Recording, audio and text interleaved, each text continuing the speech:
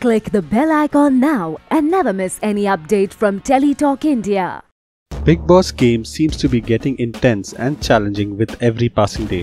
One thing we must keep in mind while watching Bigg Boss is to expect the unexpected. After a week full of tasks, we have seen a lot of interesting things inside the house. Considering all the drama happening inside the house, we never thought that we would be seeing any romance this season. But this is Bigg Boss we are talking about. Love and romance and fights are all we see. Nothing is permanent in the house. We have seen them fighting over silly issues. That's right, we're talking about Shilpa and Vikas.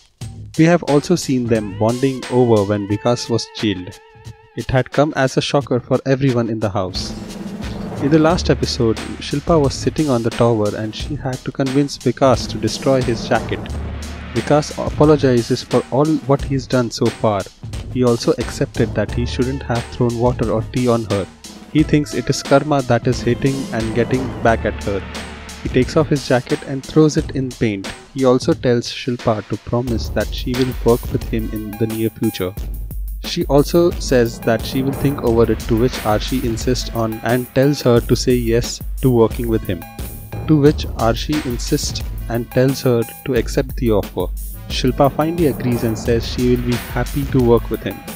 She says I love you to Vikas and also gives him a flying kiss. Will Vikas and Shilpa be the next power couple in the house? We will know in the coming episodes. To know more about the latest updates of Bigg Boss, please subscribe to Telly Talk India. For all the Garma Garam Bollywood gossip news and more, download the Zoom app now.